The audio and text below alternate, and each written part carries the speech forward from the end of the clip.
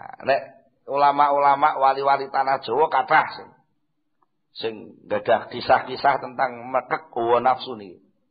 Masuk ceritanipun Mbah Mutamakin Lasem. Ya, Mbah Mutamakin Lasem. Eh kok Lasem putih Kajen, Pati. Niku sik eh nasabipun sinten? Eh Kiai Sahal Mahfud niku minggahipun ngatos dugi Mbah Mutamakin. Mbah Mutamakin niku riyen teng pundi-pundi ditutne napa? Asu. Nggih, teng pundi-pundi ditutne asu niku. Asu niku kemanot sangat kalih Mbah Mutamakin. Sampai enten napa? Lah niku sing setengah terus metu karomah nggih. Ya, enten gambaran ngoten, gambarane Mbah Mutamakin di puncale teng tumpukan geni ngoten asune yang mlebet menurut gambarane wonten beto medal. Nah, sebenarnya cerita asu niku asal usule keng pundi kok manut ngoten niku. Enten sing nyritakaken Mbah Mutamakin niku drembo. Drembo niku nek mangan akeh banget. Mangane kuat, kuat buan. Sembarang panganan mboten silian. Dan nalika semanten piyambake Ya susah duwe duwe nafsu kok drembane mengene sembarang panganan melek dipangan. Iku akhirnya ya mbak ngutus supados disediakno daharan-daharan sing enak-enak sing paling apik, paling enak sing disenengi. Kan nyuguhne teng tapi sak dereng niku siam riyin sekawan dosa dinten mboten dahar kecuali namung ngunjuk toyo nggih batalne siam ngoten mawon. Tapi setiap sonten disuguhi tapi mboten dituruti.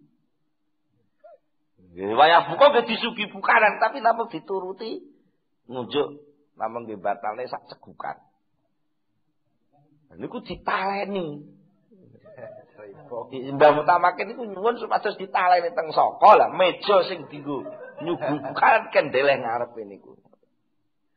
Niku ngantos enten sing cerita sekawan dosa dinten pas terakhir niku pun boten kuat ngampet tapi ajeng berontak ing talenan boten kiat akhirnya brojol medal asu niku terus nelaske daharan sing disiapke.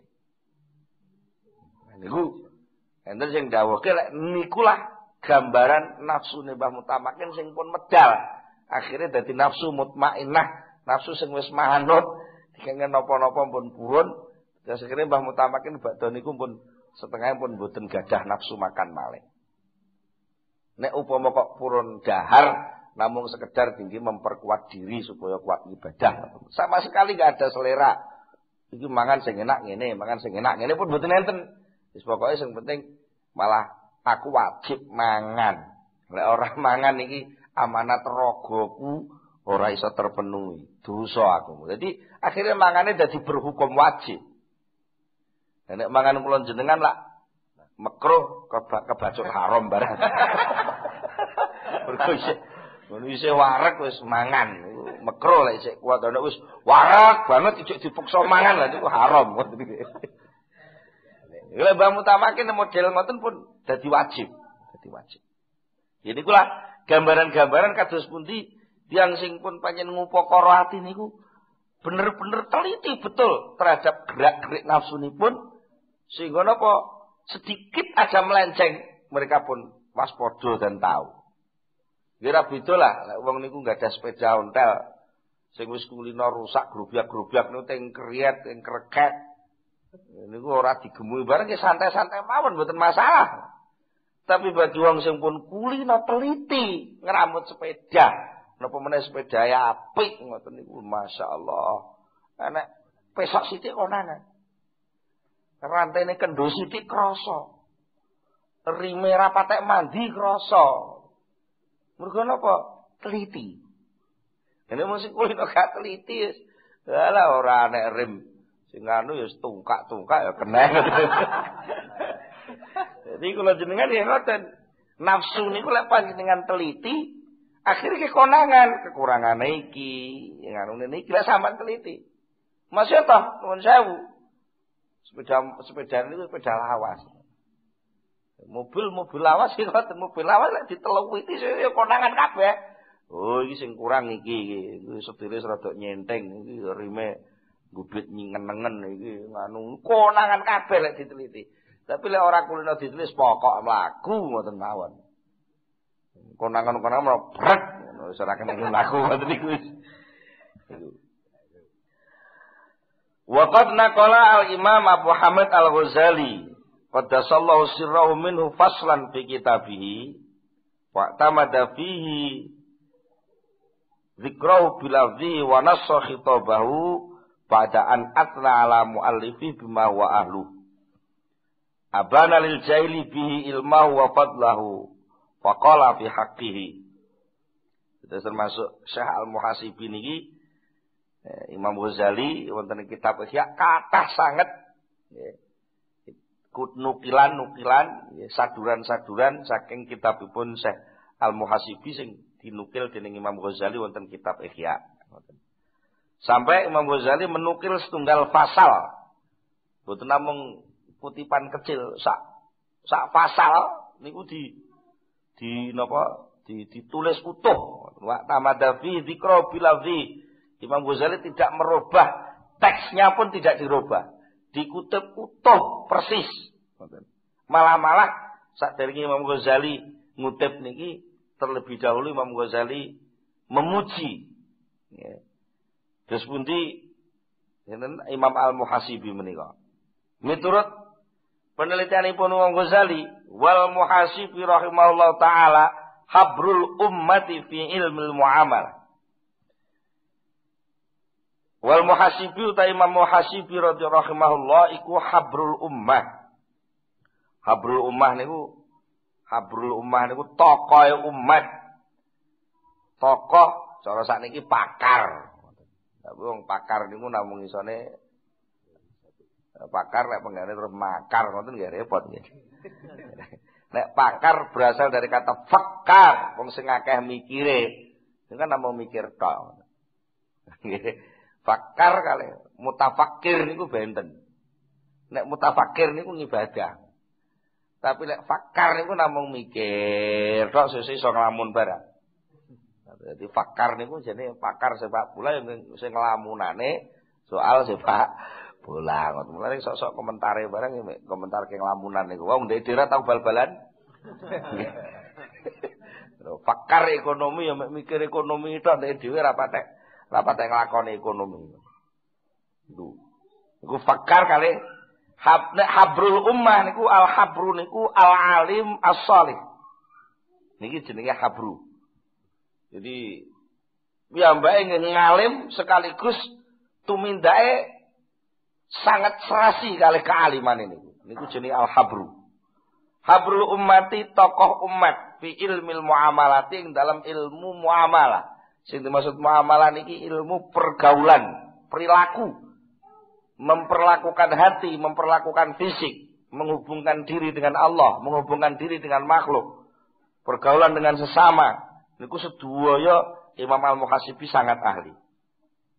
Walau niku kedua Al-Muhasibi. Asabku utawin DCI ala jamil bahithina ing atase sekabiane wong kang bahas kabeh bahas an uyubin nafsi tentang piro-piro cacate nafsu wa afatil a'mali lan piro-piro ponco bayane penyakit ngamal wa aghwaril ibadati lan seluk-beluk seluk-beluke piro-piro ibadah pernik-pernik ibadah pelik-peliknya soal ibadah itu sudah dibahas lebih dulu oleh Syekh Al-Muhasibi yang sebelumnya belum pernah ada. Bila termasuk kitab Ikhya niku sakjane babonane nggih. Niku saking apa kitabipun Syekh Al-Muhasibi. Wa kalamuhu utawi dawe Al-Muhasibi iku jadirun patut banget bi anyuhka kelawan yen to di critakno apa dawuh ala wajihi ing ngatasé apa eneke oleh karena itu, terus Imam Ghazali, pun Syekh Al-Muhasib iki pantes lek dikutip utuh supaya orang lebih lebih bisa menghayati itu. Nah, tsumma dzakarahu nuli nutur sapa Imam Ghazali hu ing al muhasibin niku wau. Tengene kitab Ihya. Lah pengen genah ya biji rekaman kitab Ihya. Saniki kitab Ihya mawon niki urung bareng ki lek itu dikutip nah mungkin lak menggok kadoan. Wa qad kana lan temen-temen ana sapa al muhasibiku awhada zamanihi. Satu-satunya orang di masanya. Satu-satunya orang di masanya. Apa nih ilman ilmu nih wa ibadatan lan ibadah. Jadi lek wong sregep mulang niku kata. Tapi yo mulang yo ibadah niku arang-arang. Jadi lek kaya kula ngeten tukang ngaji teng mriku mriku insyaallah tunggale kata. Kaya wong model kaya kula ngene lho, ngaji rono-rono diundang rono-rono mulai mulai oleh amplop lah akeh tunggale. Tapi terus digandeng bareng karo ibadah gethu. Sak dalan-dalan ini pun ngarang Malah kena diarani wis meh ora ana lek sak umur kula kecuali wis sing mulai keramat. Kados almarhum Kiai sinten? Ah, karo Surya NO sing semun sing kapundhut sinten? Ya Ahmad Siddiq. Ya Ahmad Siddiq niku mun dadi PBNO dadi Surya ngoten niku tenggon gua men umi-umi mana sebuah maca apa maca apa tasbih ini mboten tau leren. Teng mobil iki lho. Kaya sidang DPR Niku kalih nganu disusul teng mobil iku. Mumpun krawuh kok gak mudun-mudun ngoten lho. Nek tenang apa? Disusul wis ora ana dhisik urung tutuk lagu wiridan. Iki tutuk nek wiridan. Sakniki ah angel golek ngoten niku.